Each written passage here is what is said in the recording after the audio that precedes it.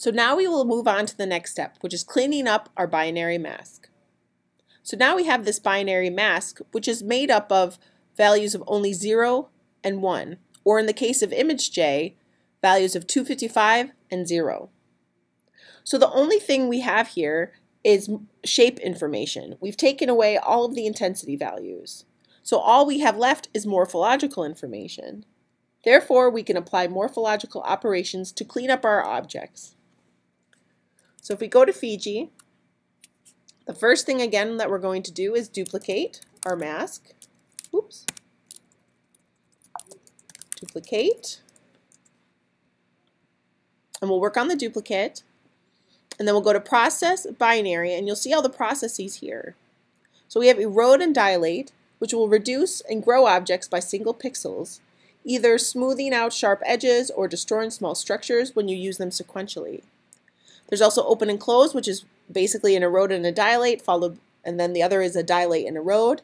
Um, so those can be used to, again, smooth out objects um, and destroying small uh, structures. We also have fill holes, which is exactly as it says. So it fills in holes. So for example, let's say it's basically if you have a donate donut shaped object that has a hole in the center, it'll fill that in. So for example, let's say you have a membrane marker of a cell. You can fill in the area of the cell using this. And just know that if your membrane ring isn't quite closed, this won't work. So then you can use erode and dilate and open and close um, to help close that membrane ring and then fill it in. Now there's also watershed.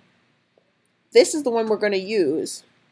As you can see, we actually have, a, down here in the corner, we'll just zoom in, we have two nuclei here, um, which can, at the moment are being considered a single object. So what we want to do is actually slice them and slice, put a slice right down the middle so we can separate these two objects. And that's exactly what Watershed does.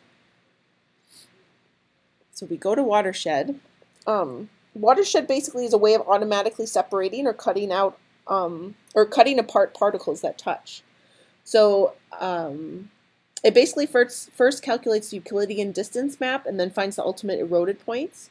It then dilates each of those ultimate eroded points as far as possible, either until the edge of the particle is reached or the edge touches a region of another growing um, ultimate eroded point. So the watershed segmentation works best really for smooth convex objects, so such as nuclei, um, that don't really overlap too, too much. So we can actually um, show you how it, this works. So we'll ju just go to, uh, there's a cool way of actually seeing how it works. If we go to Edit, Options, and then Miscellaneous, we can click on Debug Mode, and then we can run the watershed.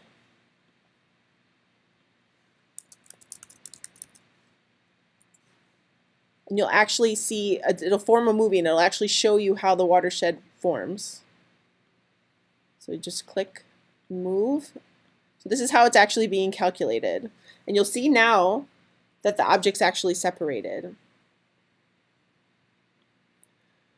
Okay, so we're going to just, oh, and now you'll see, yep, our object is separated when we ran the watershed. That debug mode just gave us that video so we could actually see how it worked. So in general, when you're doing these morphological operations, there's a lot of decision making on your part. Um, you can chain these operations and repeat them multiple times or use them one after another. It's really up to you as long as you're consistent in your workflow for all images. I also want to point out a fantastic collection of mathematical, mathematical morphology methods um, and plugins called MorphoLib J. MorphoLibJ. So this run right here. So it includes morphological filtering, reconstruction segmentation, and really would hi um, re highly recommend enabling this particular update site for this tool. And that's it for cleaning up our objects, so we can move on to the next step.